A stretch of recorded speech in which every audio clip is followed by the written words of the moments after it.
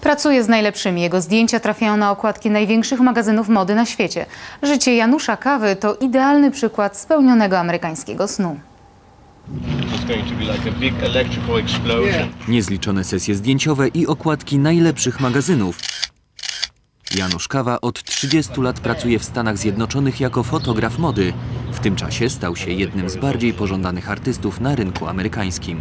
Status gwiazdy nie przeszkadza mu jednak w codziennej pracy. Cały czas jest ona dla niego pasją. Praca z nim jest ekscytująca. Sprawia, że wszyscy są zaangażowani w sesję.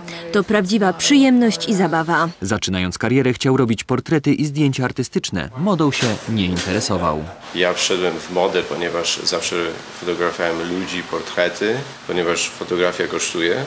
Trzeba wziąć inny zawód poza fotografią, to wtedy się nie ma czasu robić fotografii. Kawie udało się przebić. Dziś robi już nie tylko zdjęcia do magazynów mody. Fotografuję e, okładki na płyty, CD covers, no i robię swoje prace e, prywatne, artystyczne. Dla młodego chłopaka z Warszawy Ameryka okazała się ziemią obiecaną. Choć pierwsze fotografie robił jako nastolatek, dopiero za oceanem mógł rozwinąć skrzydła. Janusz Kawa nie ogranicza się jedynie do robienia zdjęć. Swoją ogromną wiedzę chętnie przekazuje innym.